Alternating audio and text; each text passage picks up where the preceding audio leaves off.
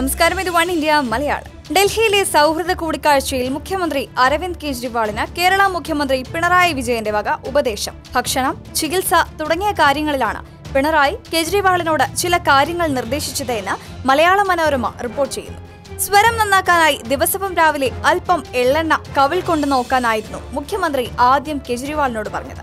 അത് പരിശീലിച്ചു നോക്കാമെന്ന് കെജ്രിവാൾ മറുപടിയും നൽകി. പിന്നാലെ കേരള മുഖ്യമന്ത്രിയുടെ മാധ്യമ ഉപദേഷ്ടാവായ ജോൺ ബ്രിട്ടാസിന്റെ കമന്റും എത്തി തൊണ്ട ശരിയായി കഴിഞ്ഞാൽ ഒന്ന് പാടി നോക്കാവുന്നതാണെന്ന്.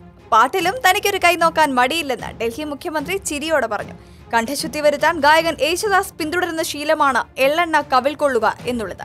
ഇത് ഓർമ്മിപ്പിച്ചായിരുന്നു ബ്രിട്ടാസിന്റെ പാട്ട് പരാമർശം. കേരള ഹൗസിൽ പ്രാതലിനെത്തിയപ്പോഴും പിണറായി ഭക്ഷണങ്ങളെക്കുറിച്ച് കേജ്രിവാളിന് വിശദമാക്കി കൊടുത്തു.